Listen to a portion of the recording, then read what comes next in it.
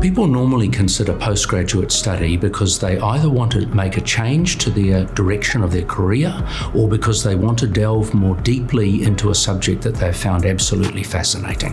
The University of Auckland is the top ranked engineering faculty in New Zealand in chemical and materials engineering, in civil and structural engineering, in electrical engineering, and in mechanical engineering.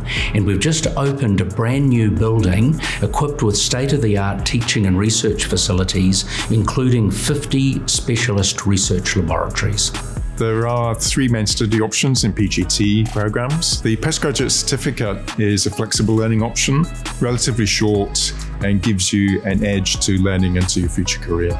The postgraduate diploma is a bigger study program, typically one year full time, and that is a deeper exploring of knowledge. The next one is the master's programs. This goes deeper uh, that technical specialization or the broadening, and also the option to do a research project. So, a postgraduate program gives you opportunity to invest in yourself. In the workplace, obviously, you can learn, but that tends to be in a rather unstructured way. If you come on a postgraduate program, it's opportunity to expand your thinking, to be exposed to peers, to be exposed to uh, academic staff, research opportunities, and it's an investment for the future, not just the immediate, but ongoing into your future careers.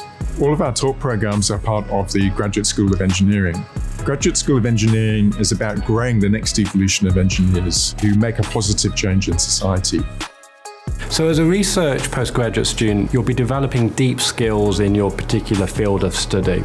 You'll also undertake a significant research project with supervisors that are world class in their area, in research groups and in laboratories like this that are also world leading.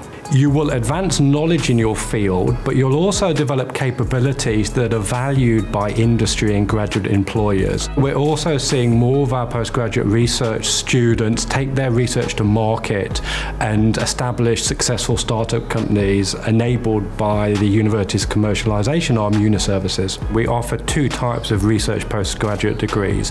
There's the PhD, which is typically a three to four year program, and we also offer the Master of Engineering and we offer that in one and one and a half year flavours across a whole spectrum of different specialisations and subject areas. The laboratory we're sitting in here is a robotics laboratory. We also have the Newmarket campus, which is a dedicated engineering research campus.